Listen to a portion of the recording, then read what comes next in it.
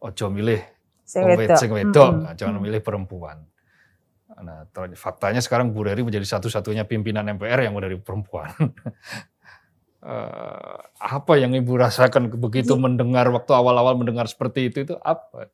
Jadi eh, ada hal yang berbeda ya. Eh, saya adalah anggota legislatif dari dapil saya Ya. di DPR RI yang pertama perempuan.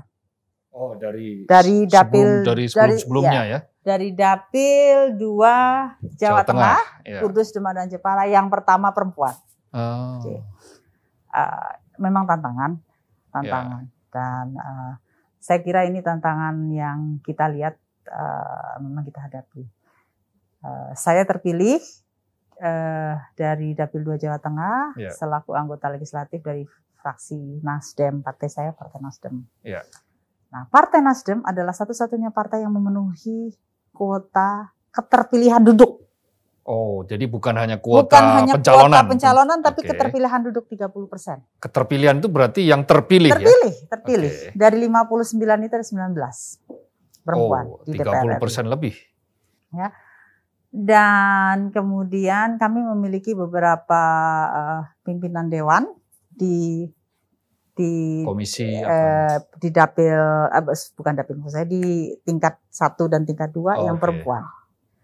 Eh, baik ketua DPRD, wakil ketua DPRD, kalau pimpinan komisi banyak. Ya, ya. Nah, dari awal Partai Nasdem sendiri adalah partai yang memang inklusif. Hmm, Itulah sebabnya kenapa saya bisa menjadi wakil ketua MPR. MPR. ya. Yang menentukan siapa yang duduk menjadi wakil ketua MPR itu partai. Jadi ini penugasan oleh partai. Jadi ketika anggota terpilih, yang duduk menjadi pimpinan itu ditugaskan oleh partai. Dan di sini partai memberikan kepercayaan kepada saya, seorang perempuan. Jadi, yang ingin Ibu sampaikan adalah bahwa partai sudah sedemikian rupa sehingga inklusivitas itu sudah dibuktikan dalam Betul. dalam praktek nyata gitu ya. Pak Jata. Nah, tantangannya berhadapan dengan dengan dengan dengan kondisi eh, ma- apa namanya kondisi eh, eh, umumnya ya. Beberapa waktu yang lalu bersama-sama kawan-kawan dari KPPI, Kaukus Pa- eh, Parlemen Perempuan Indonesia, Ya. menerbitkan buku bersama-sama dengan media Indonesia juga. Oke. Beberapa tulisan dari kawan-kawan Jalan Kaukus Terjal perempuan ya. Ya jalan terus perempuan, jalan terjal perempuan politik itu bukunya. Ini nih bukunya ya. Jalan terjal perempuan Ini- politik. Ini eh, hasil pemikiran dari kawan-kawan. Septiati. Ini sudah lintas partai. Iya. De- pemikiran dari para akademisi. Ini bukan hanya dari Nasdem kan? Bu? Bukan hanya dari Bukan Nasdem, hanya- banyak dari kawan-kawan dari semua partai menulis Iya. di sini. Jadi ini pikiran perempuan.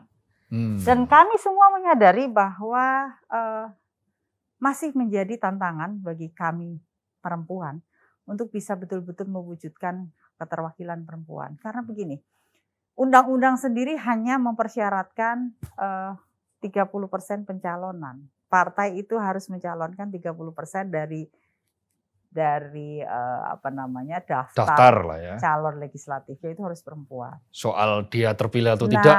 soal apakah dia kemudian hanya memenuhi persyaratan, Ya, kepilih atau tidak hanya pokoknya pantas-pantas dipasang, ya. itu tidak ada eh, apa namanya eh, Effort ya. Effortnya kurang effort lah. lah ya, tidak ada landasan hukum yang Oke. membuat memaksa Ya, partai ya, akhirnya memastikan Ya, ya. saya nggak hanya naruh perempuan, tapi saya benar-benar naruh perempuan yang siap berjuang, naruh perempuan yang betul-betul sudah siap dan bisa nanti duduk di parlemen.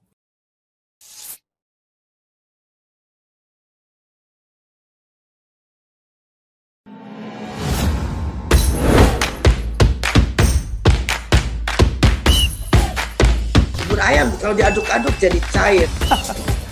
Seriously. Diaduk kayaknya ya.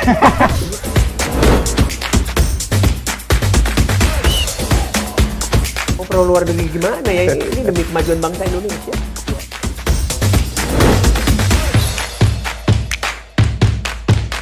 isu kebangkitan eh, PKI ini eh, dihentikan.